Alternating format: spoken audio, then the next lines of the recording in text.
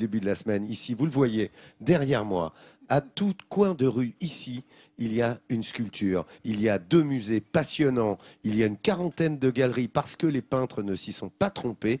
Les plus grands, évidemment, euh, de, de Picasso à d'autres, évidemment, qui sont exposés un petit peu partout. Et tu voulais me parler, Seb, d'un artiste mouginois. Exactement, qui a pignon sur rue, voire pignon dans la rue. Le lancement, très court.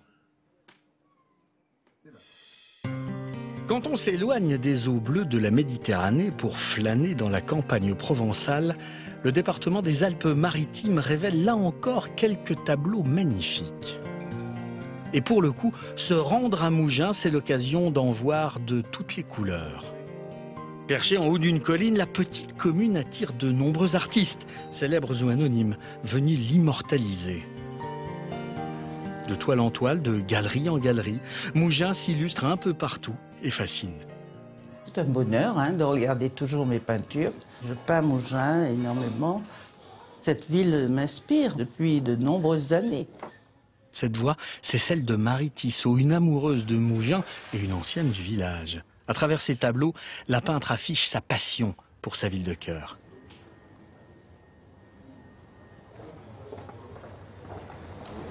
Une histoire prenant des allures de conte de fées, car la première fois que Marie met les pieds à Mougins, elle tombe nez à nez avec une bonne fée, une mouginoise qui l'invite à peindre dans cette maison.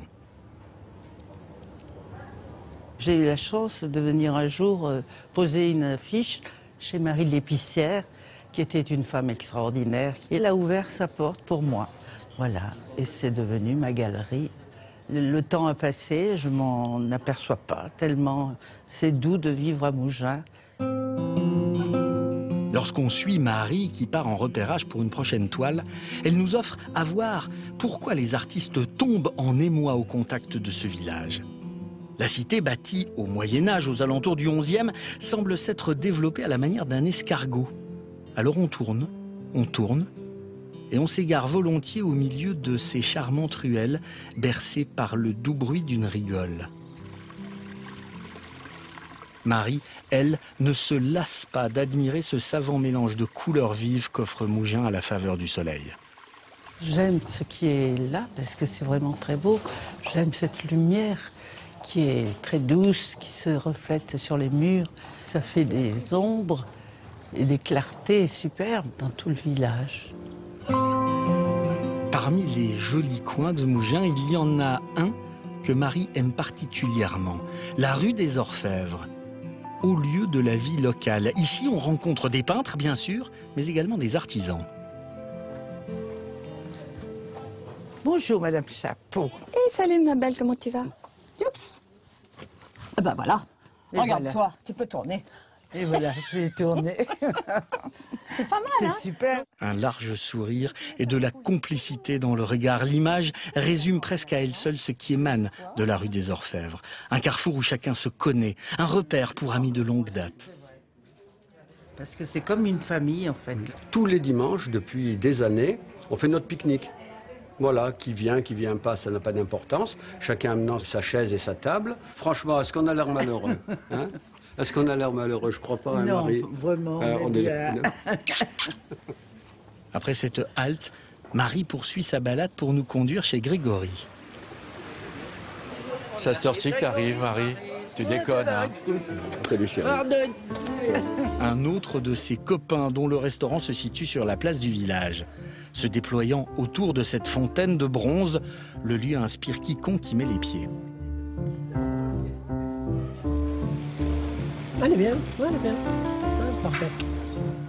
Les galeristes, bien sûr, qui exhibent leurs œuvres made in Mougins, mais également les touristes qui, étourdis par leur découverte, se remettent de leurs émotions à table, verre à la main. Allez, que bien vous fasse. Et non, ici, on ne se refuse rien. La vue est sympathique, il y a des fleurs partout, euh, plein de petits restaurants, on a le choix. Pourquoi celui-là? Ben, C'est la terrasse qui nous a plu, voilà. étape gourmande, euh, discussion. euh, on profite, on profite de bons moments.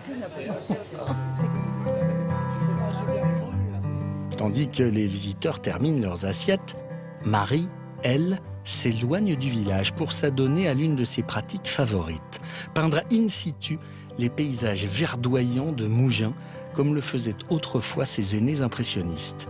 Et l'artiste a ses coins de prédilection, comme les tons de Fontmerle.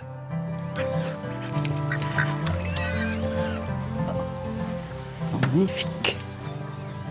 Entouré par ce subtil condensé de verdure au milieu duquel se dessinent au fil de l'eau les silhouettes de la faune locale, Marie va s'employer à coucher son talent et les couleurs sur le papier avec envie.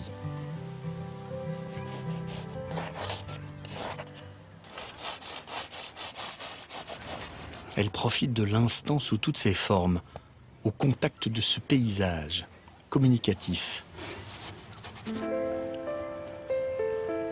C'est que du bonheur parce que on est dans un lieu magique. On est loin du monde là, on est tout à fait dépaysé. C'est comme un dédoublement. On n'est plus soi-même, on est, on est transporté. Savoir regarder, savoir écouter. On rentre en communion avec la nature et c'est très émouvant. Voilà.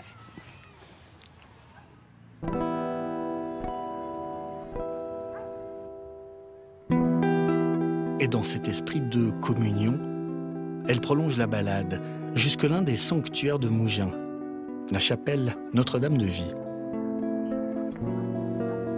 De là, on dispose de deux modèles de choix. D'un côté, la construction religieuse, et de l'autre, une splendide vue sur le village. Autant dire que bien des artistes les ont croqués au fil des années. L'un d'eux, de renommée mondiale, a même lui élu domicile au pied du monument. Dans cette maison, un grand maître du XXe siècle répondant au nom de Picasso. Je l'ai rencontré avec son, son Marcel et son short, toujours, voilà. Il était très détendu, très nature. Il parlait aux gens, il était très convivial. Sur cette photo prise devant la chapelle, c'est le chien de Picasso. Et là, c'est bien Pablo, dans son atelier mouginois entouré de nombreuses toiles. Le génie était particulièrement sensible à la beauté de l'environnement provençal, et tout ce qui l'entourait ici ouvrait sans nul doute son appétit créatif.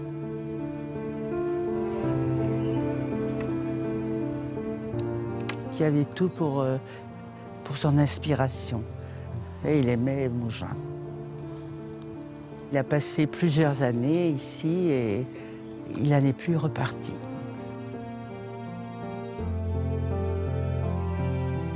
De Marie Tissot à Picasso, la passion que vous, les peintres du monde entier, pour Mougin est loin de s'éteindre. D'ailleurs, elle se ravive un peu plus quand le soleil transperce les nuages pour dévoiler à l'horizon un petit chef-d'œuvre de la nature. Devant ces nuances de jaune et de gris à tomber, Marie ressent une fois encore le grand frisson, sans doute le même que lors de sa première venue à Mougins. Il peu d'endroits en France où euh, il y a eu autant de concentration d'artistes de renommée mondiale. Il y a la Normandie, impressionniste, évidemment. Et puis il y a ici le sud de la France, la côte d'Azur, où ils sont tous venus, on l'a dit, durant toute cette semaine.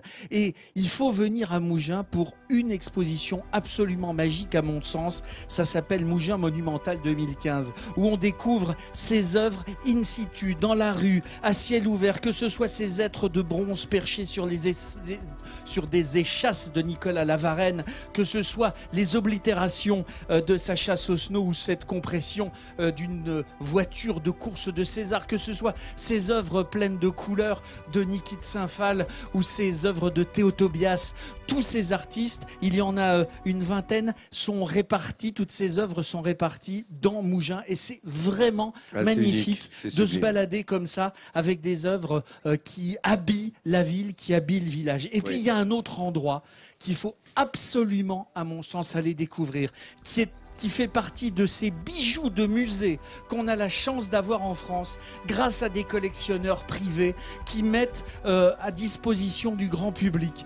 Il s'agit du musée d'art classique de Mougins. C'est un musée, un musée dont on ne sort pas avec des bleus à l'âme, mais des bleus sur les bras parce qu'on se pince de voir tant de chefs-d'œuvre dans un si bel endroit. Ça va de, de sur quatre étages d'antiquité euh, égyptienne, d'antiquité grecque et romaine, jusqu'à des toiles de Chagall, de Dufy, des sculptures de Rodin, euh, des toiles de Dali, de Warhol. C'est un endroit incroyable où une Vénus de Klein attend de se payer la tête euh, d'Athéna. Et voilà, bah écoutez, joli descriptif hein. pour, ces deux, pour musée. C'est vrai qu'il y a deux musées à visiter absolument euh, ici lorsque vous viendrez. Et c'est vrai que les sculptures monumentales, elles sont là. D'ailleurs, vous les voyez derrière, vous en voyez quelques-unes.